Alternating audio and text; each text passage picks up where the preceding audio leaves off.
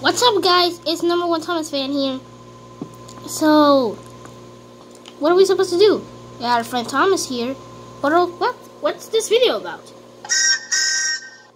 Hey, I know that whistle. Yes, guys. Today we have a new entry today, and the new entry is Jeremy the Tank Engine. So, guys, I made Jeremy the Tank Engine. You know my the video of my custom ideas? Well, I Jeremy the Tank Engine suggested me to do him. So I did it. Look. So let me show you what I did. I got my old, an old Thomas. I didn't do well with the glasses because it wasn't that easy.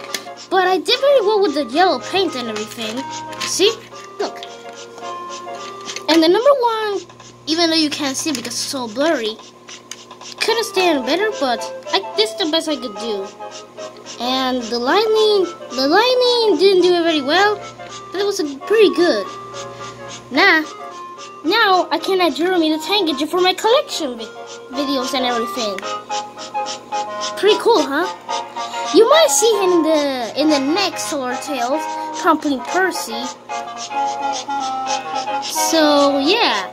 Before we end the video, because it was too short, I will do the the foot play the here.